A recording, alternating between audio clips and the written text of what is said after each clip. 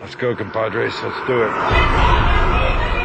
Ask yourself, why do so many risk so much to cross over our borders? Come home with me. We can't make a go of it without status. I've got to get legal, and so do you. Yeah, well, I'm working on that. Maria Sanchez. I think she got picked up again. She's got a minor child left unattended. If you try to help her, you would be taking a really big risk. If it's not the right kid, I'm coming back. There's a fella I met. He's working something out for us. Well, how did you pull it off?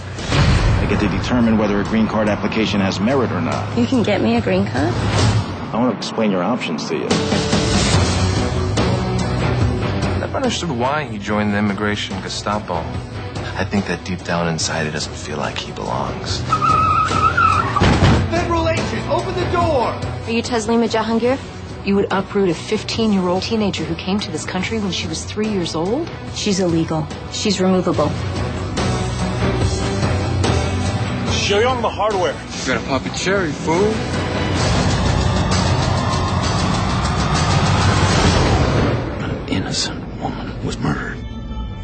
She deserved better than that in this country. In my country. Shouldn't we try to understand them as human beings? As fathers and brothers and sons and uncles? Were you with him today? Were you with him today?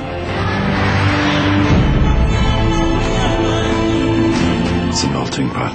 You bring your culture over here with you. It all blends in.